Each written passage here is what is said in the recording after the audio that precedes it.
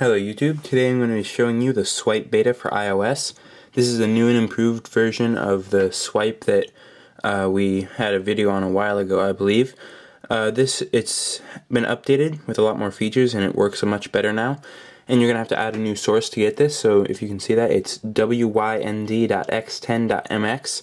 I'll have that down in the description, so just go to Sources in Cydia, hit Edit, hit Add, and type in the source down in the description.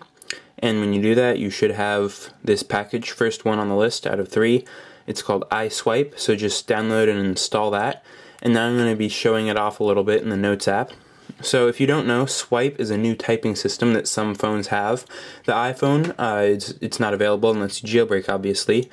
And basically what it is, it's supposed to be a new, faster way of typing words. And what you do is, instead of typing each key individually, you actually uh, put your finger on the keypad and then drag around and ju stopping just at the letters that you want. And you can see uh, earlier this did not uh, make the blue line, so that allows you to keep track of your path a little better. And it tries to operate on whole words rather than uh, individual letters at a time. So if you get close, it's sort of like the iPhone's predictive typing mechanism. I think it's a little bit better at, predicting the right words.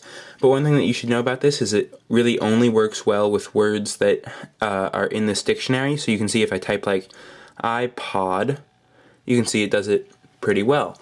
But if I try to do a word like iPod up link, it types like ink. So that's one of the drawbacks to the predictive typing. It can't do things that are not words.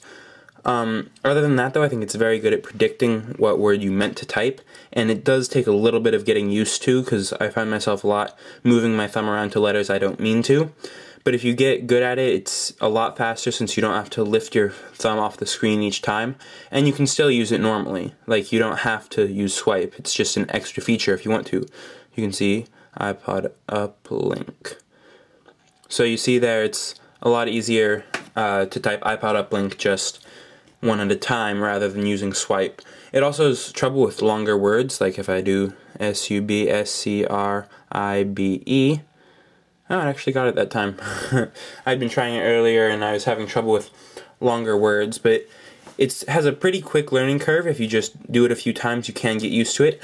So I really recommend you go check this out in Cydia. It's called iSwype for iPhone. Add the source down in the description. But that's all we have for now. Thanks for watching, and please subscribe.